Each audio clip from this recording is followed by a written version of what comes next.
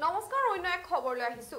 বোকাজান তথা খটখটি আৰক্ষীৰ যৌথ অভিযান। অভিযান ক্ৰমে খটখটিৰ পৰা হস্ত নিৰ্মিত পইণ্ট টু টু পিষ্টল জব্দ কৰিবলৈ সক্ষম হ'ল আৰক্ষী দলে। লগতে আটক হ'ল এটা ধৃত ব্যৱসায়ী।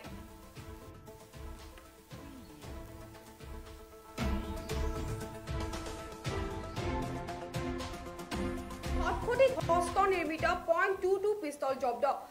এখন অটো ৰিক্সাত অহা যাত্ৰীবাহী এজনৰ পৰা জব্দ হ'ল উক্ত বন্দুকটো আৰক্ষীয়ে। হঠাতে চলোৱা অনু অনুধানৰ পৰা বালিজান ফৰেষ্ট গেটৰ ওচৰত তালাচী চলাই প্ৰায় বিয়লি দুবজাত নীলাজ আও নামৰ এজন ব্যক্তিক আটক কৰে। লগতে এটা হস্ত নিৰ্মিত পইণ্ট টু টু বন্দুক তথা এটা মেগাজিন সহ তিনি জাই সজীৱ বুলি জব্দ কৰিবলৈ সক্ষম হয়।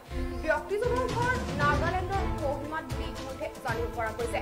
বোকাজান মহকুমা জন দাসৰ নেতৃত্বত তথা খটখটি আৰক্ষী থানাৰ অ' C মৌলবিক Brahma A S I অৰুণাথৰ সহযোগত উক্ত ব্যক্তিজনৰ লগতে পইণ্ট টু টু বন্দুকটো জব্দ কৰিবলৈ সক্ষম হোৱা বুলি জানিব পৰা গৈছে।